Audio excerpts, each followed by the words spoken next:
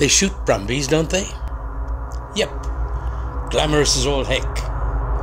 Hanging out the sides of a chopper, one foot on the skids, polished rifle gleaming in the sunlight, itchy trigger finger at the ready, herd of Brumbies galloping majestically within touching distance.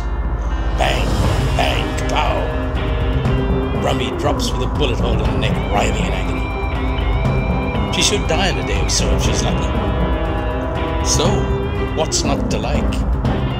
Easy, easy.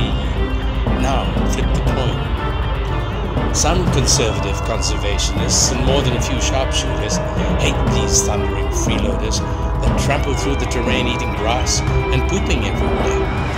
And they don't care how they die. They are determined to eradicate them, or at least cull them into manageable numbers, like none. So how can we argue with this level of common sense? We can't because it isn't. It just doesn't make sense.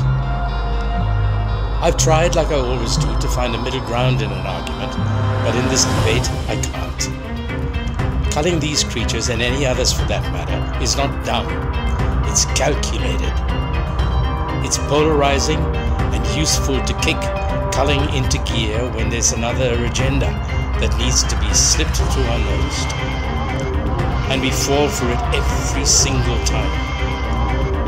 We race off to the office coffee break armed with false information that's been fed to us, like a suppository, usually from the side that has the most to gain. And we blitz anyone who dares to argue with us when we remote. So the Brumbies continue to drop and linger in agony, and the camels line up next in line. There's millions of them, aren't there? Or so they tell us. The question is, where? Take the blinkers off, my friends. If you're in tourism like the rest of us, I mean, who isn't? It's the only industry we've got left in Australia that can't be outsourced.